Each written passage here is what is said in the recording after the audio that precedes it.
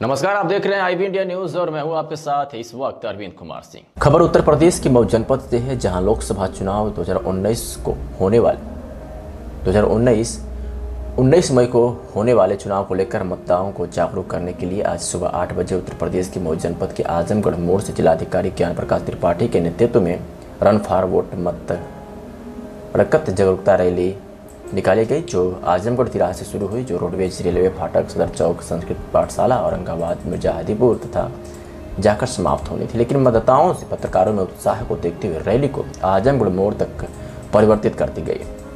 फिर रैली मिर्ज़ा हादीपुर से होकर आजमगढ़ मोड़ पर जाकर समाप्त हुई। रैली के दौरान कई स्लोगन बोले जा रहे थे, जैसे, सारा काम छोड़ दो, सबसे पहले वोट दो।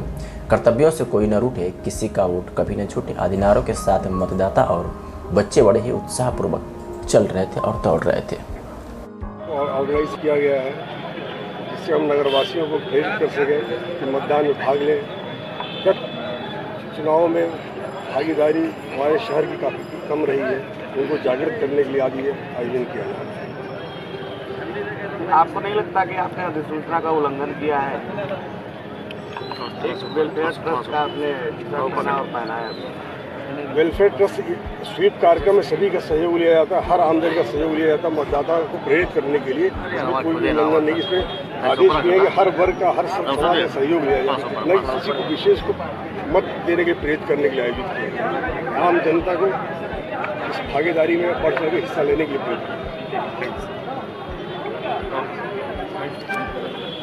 इंडिया न्यूज़ के इस बुलेटिन में फ़िलहाल इतना ही लेकिन आईबी इंडिया न्यूज़ पर खबरों का सिलसिला लगातार जारी है। आप देखते रहें आईबी इंडिया न्यूज़।